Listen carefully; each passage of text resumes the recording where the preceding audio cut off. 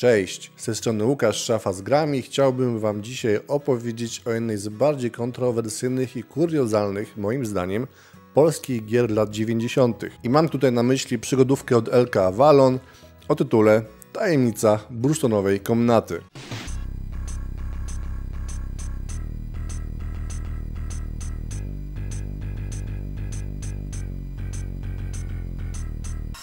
Gra została stworzona przez Eagle Software i nie byli oni bynajmniej początkującymi w branży gier komputerowych.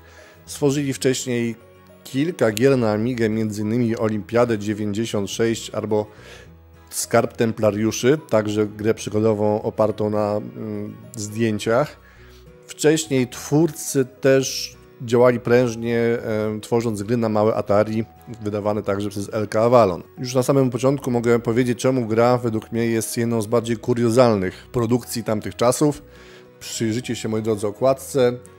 Tajemnica bursztynowej komnaty. Mamy tutaj e, bursztynową komnatę, jakby nie patrzeć na okładce.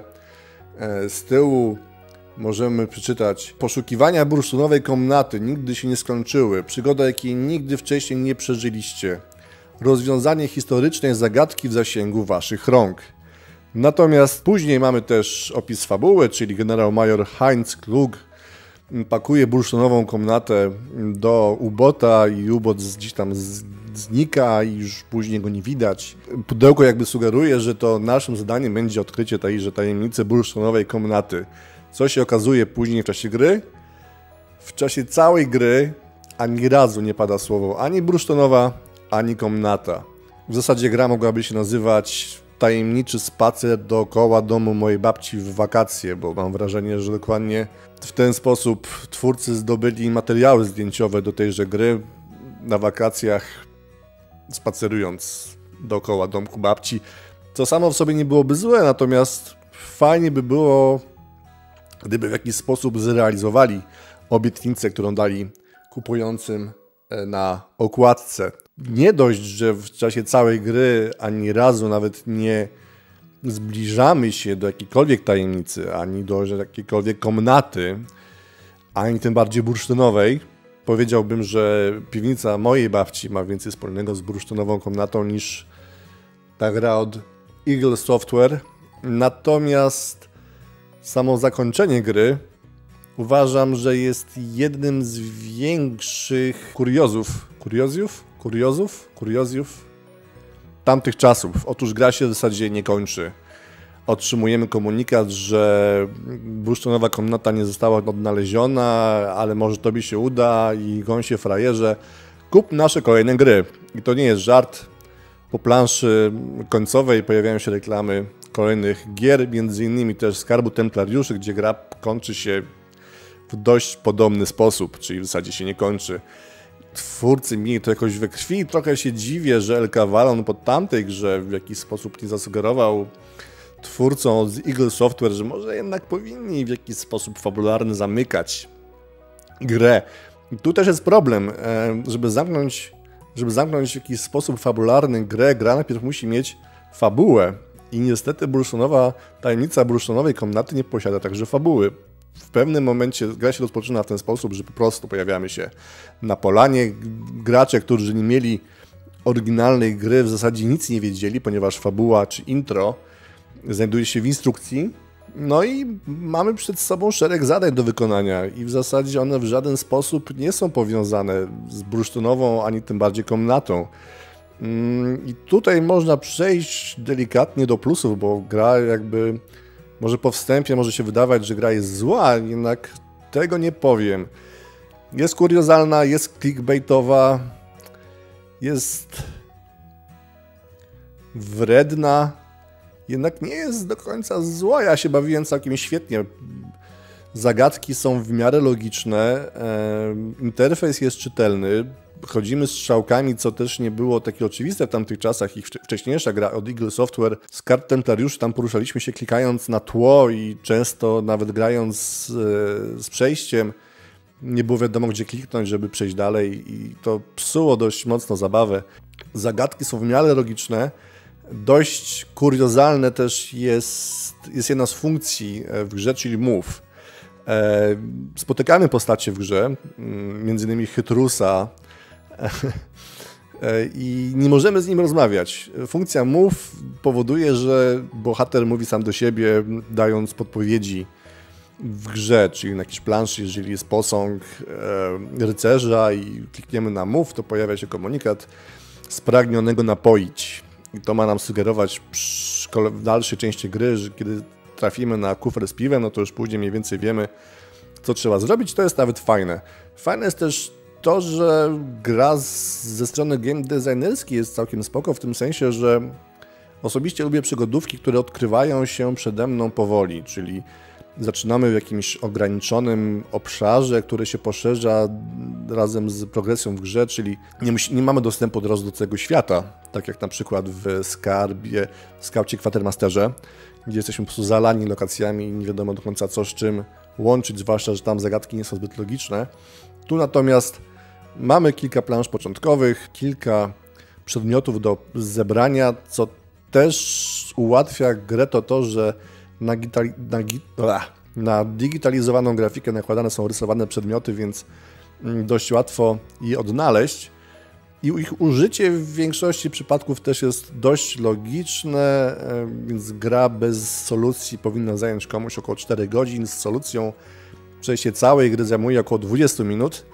Mm, natomiast wracając do ograniczenia obszarów, to się objawia w ten sposób, że dochodzimy w pewnym momencie do miejsca, gdzie albo ktoś stoi, albo jest, są jakieś złe moce, które trzeba odpędzić. E, natomiast też pojawia się jasny komunikat, czyli tutaj panują złe duchy i możemy się domyślić, że trzeba użyć krzyża, który mamy w kieszeni. E, albo jest maszyna do kodów kreskowych, a my mamy kody w kieszeni, też trzeba ich użyć. Także to jest całkiem logiczne i całkiem fajnie zrobione. Grafika też jest dość czytelna, tutaj nie ma bardzo, zbyt wiele do co oczekiwać od gry zdjęciowej na Amigę. Przypominam, że to już były lata 96, czyli wyszła już Fantasmagoria 2, wyszedł Wing Commander 4, e, wyszło już bardzo, bardzo... Urban Runner też wyszedł, bardzo dużo już e, gier filmowych, więc fajnie, że amigowcy coś dostali, jednak to był kolejny cios po grafice 3D, sygnał, że Amiga niestety, ale została gdzieś tam z tyłu.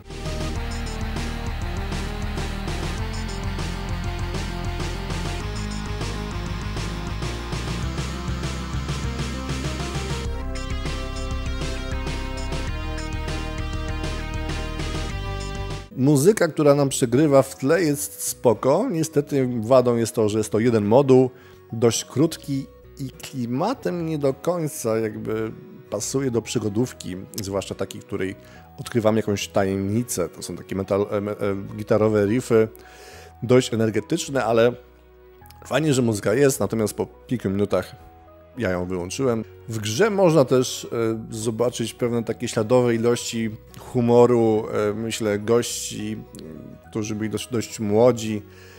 Dzisiaj można stwierdzić, że żarty są dość suche, jednak z przymrużeniem oka można nawet uśmiechnąć się półwąsem z żartu, gdzie widzimy gospodynię domową i klikając zobacz, e, komunikat pojawia się, że jest to mis gospodyń wiejskich, taki powiedzmy żarcik niskich lotów, ale myślę, że goście na tych czasach byli dość młodzi i pewnie to w jakiś sposób ich bawiło. Gra otrzymała dość mieszane recenzje od 30% z Secret Servisu, gdzie wspominali co prawda o rozczarowującym zakończeniu, jednak nie wspomnieli, że tego zakończenia w zasadzie nie ma. Do około 60 od świata gier komputerowych, gdzie powiedzieli, że dla fanów przygodówek gra będzie całkiem ok. I faktycznie, jeżeli ktoś nastawiony jest po prostu na wyzwania na zasadzie jest przeszkoda, muszę ją rozwiązać, gra jest całkiem spoko. To, czego mi faktycznie brakowało w tej grze, oprócz fabuły, to jednak to zakończenie było dość leniwe i tutaj wydaje mi się, że można było to rozwiązać w dużo lepszy sposób, jakimś dodatkowym zdjęciem, nawet niech to będzie, niech to by była piwnica tej babci, gdzie układaliby jakieś artefakty, by powiedzieli, że tu jest tajemnica, tu jest błyszczonowa komnata, związałeś tajemnicę, świetnie, nara.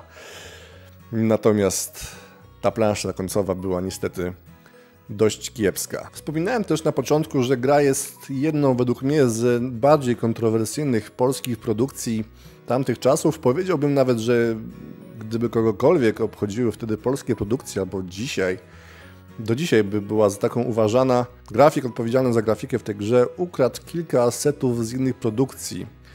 W tamtych czasach to jakoś umknęło recenzentom, natomiast dzisiaj już wiemy, że m.in. orzeł, który jest w dolnym pasku, jest częścią logo z firmy 21st Century Entertainment. E, ikonka, która odpowiada za mówienie, to jest jeden z bohaterów Chaos Engine, a, a ikonki weź bodajże i daj, znaczy użyj, są z gry The Hook, także na Amigę. Za to twórcom na pewno należy się karny jeżyk. Na szczęście w innych grach tego nie zauważyliśmy, nie wiem, pewnie to wynikało troszkę z lenistwa. E, grafika wtedy mi się udało, dzisiaj już jak się wejdzie w jakąkolwiek recenzję tej gry, to niestety jest to wypominane. Czy grę mogę polecić? E, sam jestem fanem filmów klasy D i w ogóle całego alfabetu filmów, także tak też odbieram tą grę jako coś, co jest tak złe, że aż dobre, co też nie jest takie łatwe. E, jest wiele polskich dawnych gier, które są tak złe, że aż złe i człowiek później musi brać e, chemię, żeby jakoś pozbyć tego całego niesmaku z ust. Mm, ja się nie męczyłem, grałem w to na live. Ci, którzy grali razem ze mną, e, myślę, że też bawili się całkiem nieźle. Nie ukrywam, że do przodu jednak parła mnie ta myśl, co oni wymyślili na samym końcu, żeby mnie zaskoczyć. No i to zakończenie było jakimś zaskoczeniem. No, ciągle wracam do tego zakończenia, ponieważ jakby w grę przygodową gra się między innymi też po to, żeby poznać te twisty fabularne. Tutaj niestety tych twistów nie ma. E, natomiast dalej nie uważam, żeby to była najgorsza gra przygodowa, jeżeli chodzi o digitalizowaną grafikę. O gorszych opowiem Wam w kolejnych odcinkach. Natomiast teraz bardzo już Wam dziękuję za obejrzenie tego materiału. Dajcie znać, co wymyślicie o tej grze, czy graliście w dawne digitalizowane gry, czy bardziej w FMV-ki już wtedy. Co o nich myślicie, czy podobały Wam się? I to w zasadzie tyle. Dzięki wielkie za obejrzenie tego odcinka. Trzymajcie się. Cześć.